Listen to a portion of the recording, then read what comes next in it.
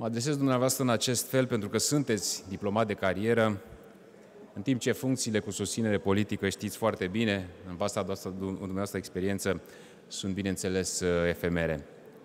Știți la fel de bine ca foarte, multe, ca foarte mulți dintre noi parlamentarii că politica externă a României nu trebuie să fie una subiectivă, care să servească interesele naționale mai degrabă decât interesele de grup sau interesele mai grave a unor lideri politici care vor să câștige simpatie folosind în interes personal lucruri de care n-ar trebui să se atingă. Dumneavoastră sunteți, bineînțeles, și om politic, dar sunteți și diplomat de carieră. Înțelegeți foarte, foarte bine situația extrem de dificilă în care a fost aruncată țara noastră în contextul ultimelor decizii abrupte, imprevizibile și netransparente legate de anumite poziționări ale României în plan extern.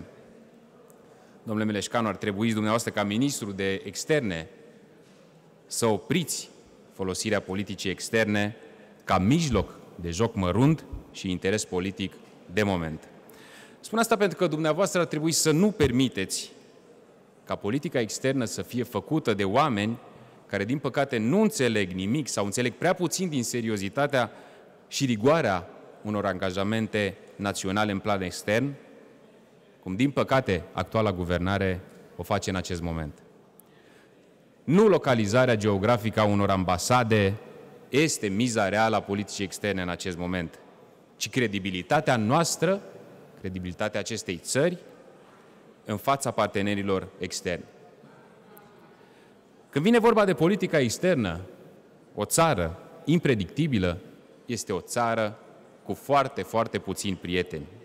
Și observăm în ultima perioadă, cu actuala guvernare, din păcate, își dorește să introducă și în politica externă, dar și în comunicarea noastră națională, o foarte înșelătoare antiteză între două construcții în care suntem angajați și în care ar trebui să ne menținem fermi. O antiteză între o construcție transatlantică și cea europeană, parteneriatul cu Statele Unite ale Americii și apartenența noastră la Uniunea Europeană nu pot fi puse niciodată în opoziție.